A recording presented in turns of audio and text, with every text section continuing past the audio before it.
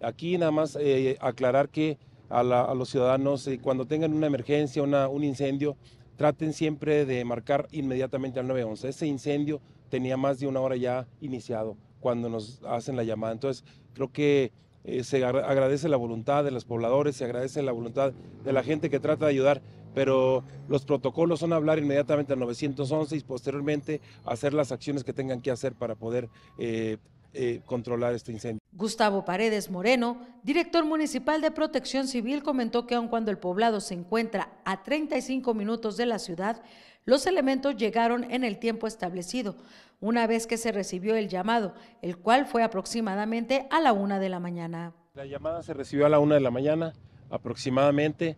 El poblado está fuera de la mancha urbana, eh, son 35 minutos aproximadamente de trayecto, por lo que pues nosotros cumplimos con los protocolos que tenemos establecidos. Eh, los tiempos eh, dentro de la mancha urbana son unos y foráneos son otros. Creo, bueno, pues el tiempo que marcan los protocolos es un tiempo para nosotros bien, un tiempo suficiente con un camión que trae una tonelada, casi dos toneladas de peso y con con pues, la velocidad que el camión debe de llevar hasta el lugar. Finalmente, el titular de la dependencia indicó que hasta el momento no se conocen las causas que pudo provocar dicho incendio, además de que no se tiene conocimiento ni localización del tercer menor del que se ha estado hablando. Tenemos una base el registro dos menores, el tercer menor se dice que se fue trasladado a algún lugar, a algún centro hospitalario para atención, eh, no, no hemos tenido mayor información.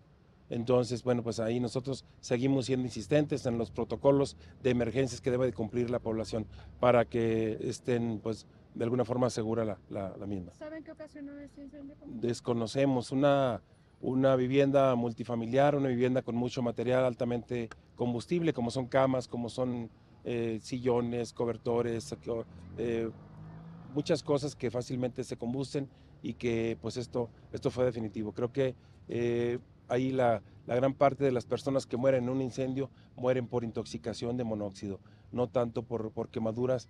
Creo que lo primero es eso. Por ello, al momento de que hay un, empieza un incendio, es importante tener un detector de humo, un detector eh, que pueda empezar a generar una alarma sonora y con eso podemos inmediatamente retirarnos del lugar o salir. Con imágenes y edición de Marco Antonio Vázquez para Canal 12 Noticias Informa, Pamela Estrada, buen día.